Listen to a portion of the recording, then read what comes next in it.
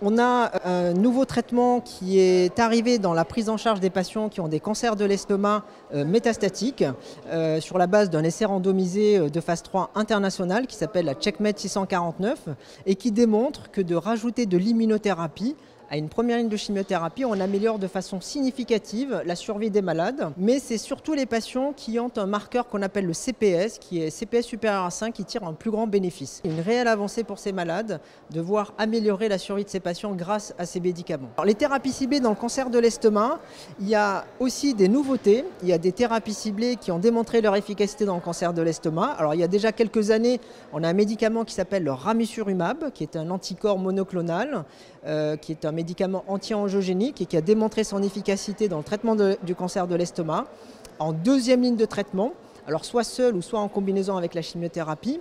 On a d'autres médicaments euh, notamment ce qu'on appelle la trifluoridine tipéracile, qui est une molécule de chimiothérapie qui n'est pas vraiment une thérapie ciblée et pour lequel on a des données récentes qui montrent que ça améliore le pronostic des malades.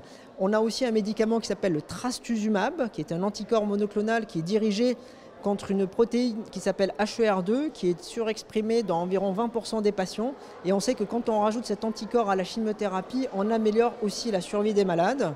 Et puis on a un dernier médicament qui est ce qu'on appelle des, anticorps conjugués. Ce sont des anticorps monoclonaux qui sont euh, avec des lésions covalentes associées à des molécules de chimiothérapie, notamment le trastuzumab deruxtecan, qui a montré des résultats extrêmement prometteurs chez des patients qui avaient déjà reçu des molécules de chimiothérapie. Et il y a des phase 3 qui sont actuellement en cours pour valider l'efficacité de ce médicament. Il y a justement une étude clinique qui s'appelle Destiny Gastric 04 qui évalue l'intérêt du trastuzumab deruxtecan en deuxième ligne de traitement. C'est un essai randomisé de phase 3 hein, qui compare ce médicament à une deuxième ligne de chimiothérapie euh, standard. C'est une étude qui est actuellement en cours, c'est une étude internationale et c'est une étude notamment qui nécessite que les patients soient rebiopsiés pour qu'on s'assure que cette protéine est toujours surexprimée.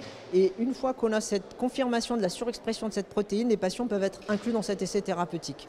Et puis il y a d'autres essais thérapeutiques qui évaluent notamment des combinaisons d'immunothérapie avec d'autres médicaments.